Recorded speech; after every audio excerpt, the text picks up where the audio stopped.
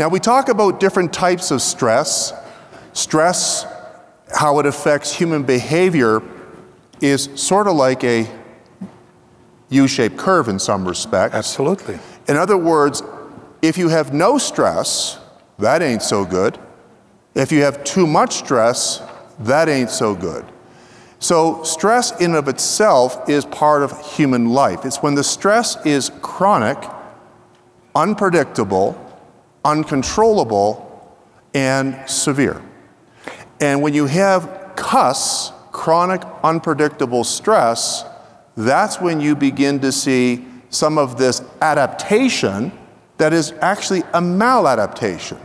And the person begins to experience amotivation, apathy, disinterest, and we see changes in the brain that mimic that. Uh, now, one aspect about this that I've been interested in as a, as a person, as an academic looking into this, is the role of the inflammatory system. I know, Vlad, you are as well, Absolutely. as well as the insulin resistance that takes place in this situation. You can see here some of the circuitry that Vlad was speaking to. In short, when you're in this situation, what happens is, is among other things, activation of the so-called pro-inflammatory system.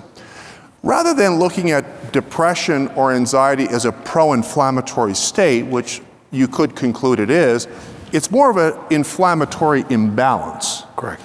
And what happens is, is that the, the, the signature of inflammation is tilted towards more pro inflammation. And what happens, which is really interesting, is that when you look at the brain in a human being who has had their inflammatory system activated because of CUS, chronic, uncontrollable, unpredictable stress, or some other uh, reason, you begin to see a predictable change in brain activity. Specifically, what you see is a decrease in activity in the region of the brain responsible for motor function, the striatum.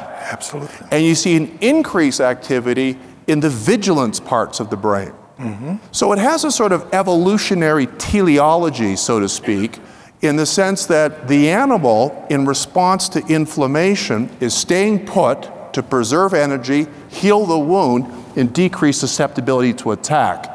You and I call that anxious psychomotor retarded depression.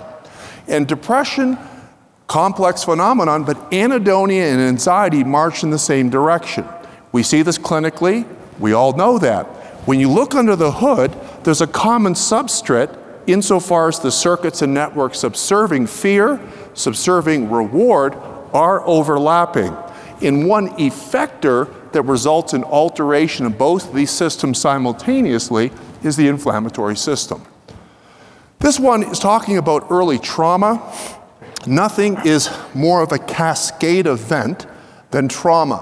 When we say cascade event, what we mean is that trauma, especially early in life, but at any time, but early in life, cascades. It's a trigger that results in a cascade, a molecular cascade, a cellular cascade, that could result in irrevocable change in the circuitry subserving, among other things, fear, cognition, and reward.